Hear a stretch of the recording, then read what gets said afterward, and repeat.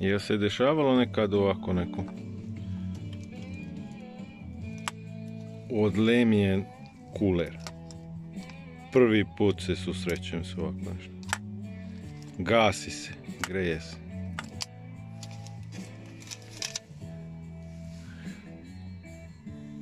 Ajoj.